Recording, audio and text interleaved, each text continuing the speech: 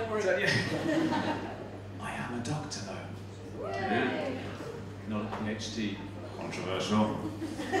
I'm a medical doctor, so um, if anyone collapses from any of the hilarity bouncing off the walls, I can tend to them. Yay! Thank you, sir. but I'm a GP, so I think my first instinct would be to ask them how they felt about collapsing. and then I'd check if they're on a statin or not. now, I've uh, I set myself quite a big remit here because I'm going to talk about stuff and autism, and I realised when I looked into stuff, it's quite a wide area. so I'm just going to talk about a couple of things. First of all, I want to tell you about this amazing product that I found because you know, if, if you buy some Rice Krispies or something, you get a free bouncy ball. Forget bouncy balls and Rice Krispies. Buy yourself some jam. Yeah. Because every single jar of jam, right? I don't know how they fund this. Every single jar, it's got a safety button. Hear that? Amazing. So if, you know, carry a jam, right, walking along, see a pack of hyenas. So I don't know what you guys are laughing at. I've got a jar of jam. Sorted, safe, you know.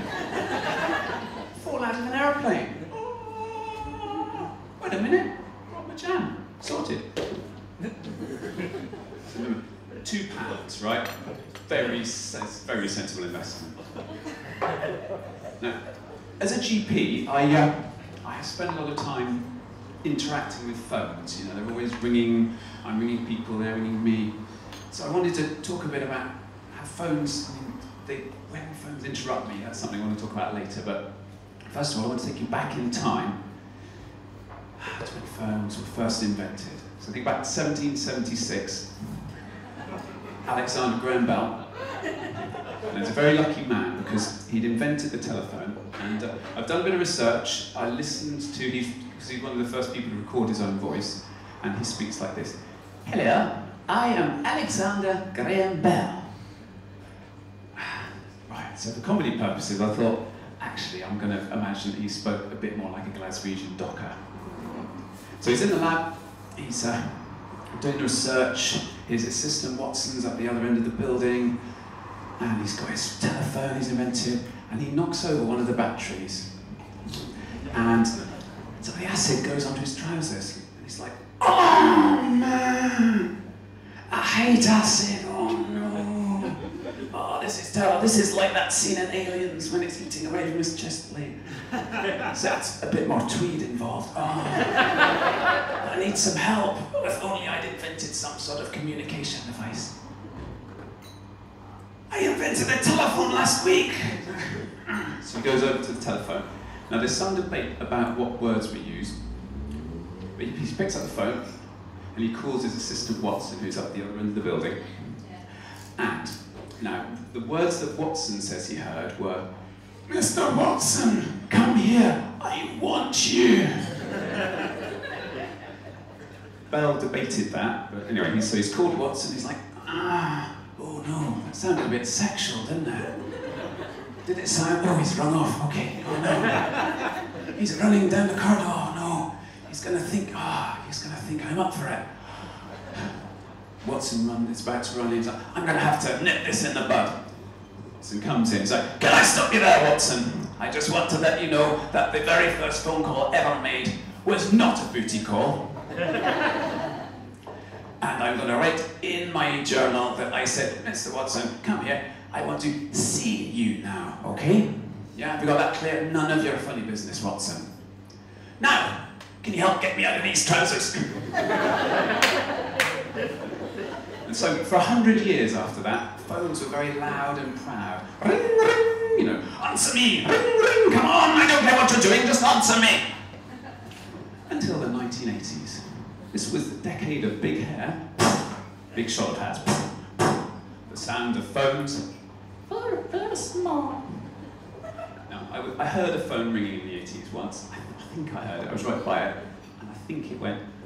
Ah, It's never excuse me. Oh. I'm just ringing here. Would you, would you mind if... Oh, um, no, you carry on reading. That's all right. of course, now everyone phones are much louder again. Everyone can choose music to put on their mobile phone.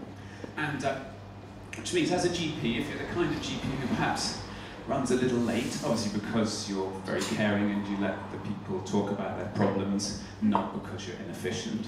or at least that's what my appraisal said.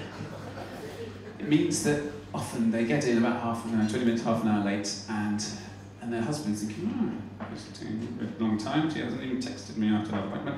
So I'm in there, and it means this sort of thing happens.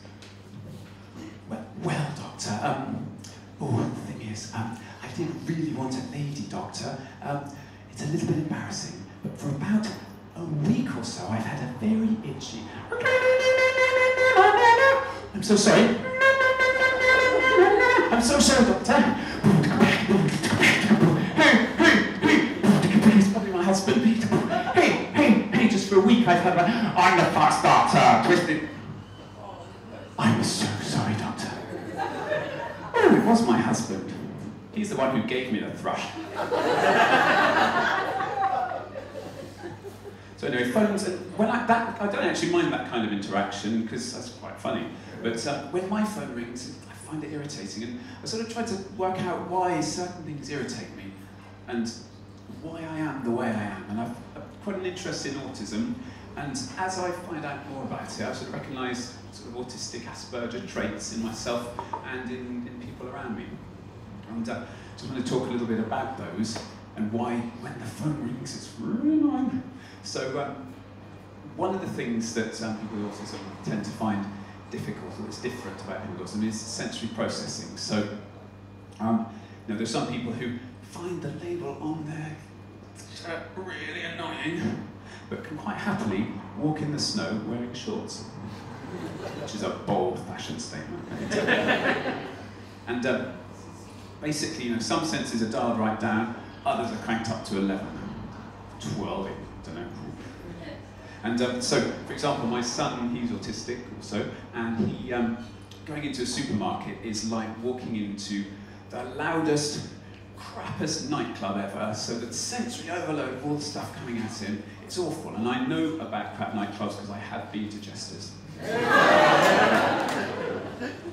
And so that's one thing that autistic people have to do, have to filter this information. It's um, there's a research um, or a, a, theory posited called um, to do with the sort of overwhelming, um, the intense world theory, sorry, which is about everything's very intense, everything's very emotionally intense, stressful, and uh, that's something you have to, in real time, learn how to filter all this crazy information.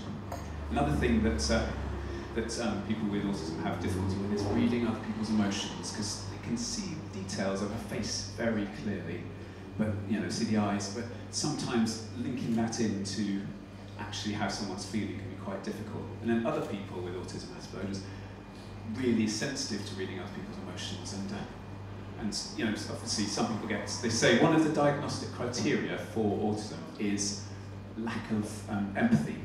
It's like oh god, you guys with autism, you're like so lacking in empathy, weirdos. And mm, of course, autistic person's like, oh, I'm so sorry. And the actual lack of sort of this such intense anxiety about not being empathic or not being able to interact with a normal person, a neurotypical person, actually makes them seem lacking in empathy, but it's actually a real anxiety thing. But also, autism has an incredible sort of incredible sort of powers and incredible skills. So being having to learn to, to sort of filter all this information is um, once you learn to do it, it means you can be very observant. So act, a lot of actors are on the, um, a decent number of actors on the autistic spectrum, spot things about people, uh, how people interact.